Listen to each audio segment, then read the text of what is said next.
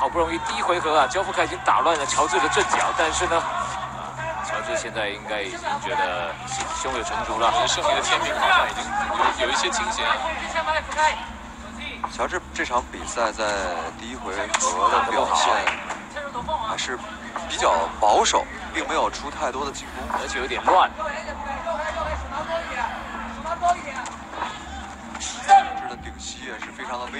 小心，要小心。他的左膝啊！这个乔治的左膝是非常厉害的，应该时不时的在弹弹自己的这个对左腿，非常的痛，还是不动了，他脚还是影响了整个的举重的时候发力还是还是用不上的，他现在没办法站呐，对，现在他现在靠在神君上，他没办法站的。要小心乔治的左左腿跟左膝。乔治如果近了身以后的连击也是非常危险的。是的，而且他会跑到你的侧面，哎，从侧面进行手术刀一般的切割，在你视觉、视觉跟攻击的盲点。哎，好，有精神，还有摔。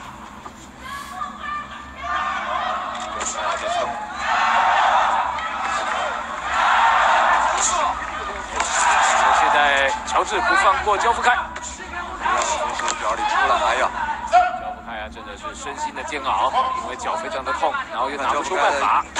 这个左腿啊，一直在对在跛，在后面在抖，而且在一直在比赛的过程中，他在不断的调整。看来是肌腱产生了比较大程度上的情况，这已经影响到整个的机能了，应该是受伤了。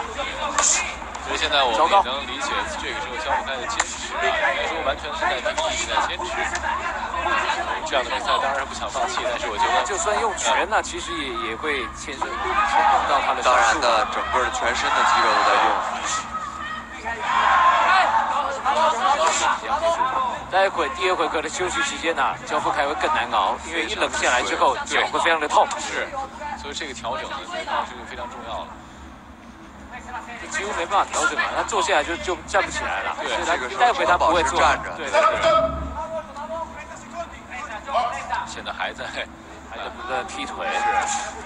现在比较，如果利用我们武技风的规则来看，焦不开完全可以举手示意说我的腿失去知觉，或者让场医生来来纠正。哦。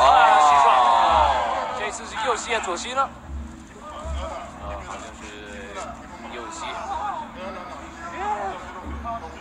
回到中立角。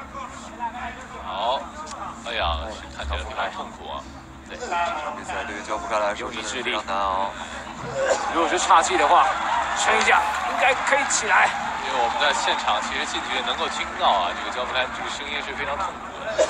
而且其实我们也知道，如果说这个对于对于这样一个运动员来说，不是极度痛苦，也不会发出这样的这个让我们觉得特别难受的这样心疼的一个声音。对，因为这个这这托尼位置还没还没强读，所以呃乔治乔治的他的角落的团队有点意见。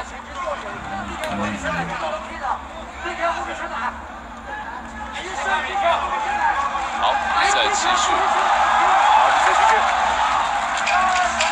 啊，最最后十秒。脚不开，其实还在痛啊，脚痛肚子也痛。这时候对手拿到，手拿到。哦，这回合比赛结束。哦，对于教练来说，痛苦的时间真的又来了。所以没办法做，现在跟直接在地上了。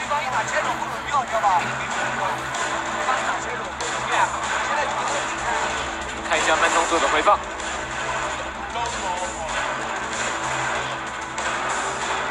就是在这，在绳圈边上的一个顶膝，我们看，啊中。正好打到太阳神经丛上，这个其实应该强毒的。Round three. You are my